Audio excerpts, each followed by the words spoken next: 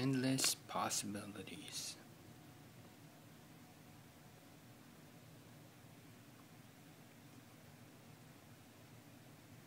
So many real riders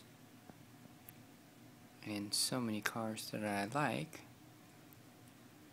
without real riders.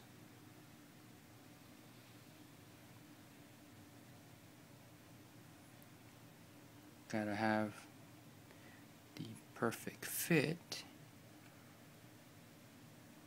If not, what's the point? So yeah. Trying out a couple of combinations. Hopefully, uh, as time goes by,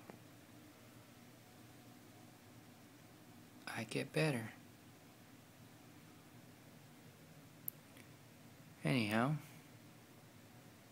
just another video from Mr. Sensitivity signing off.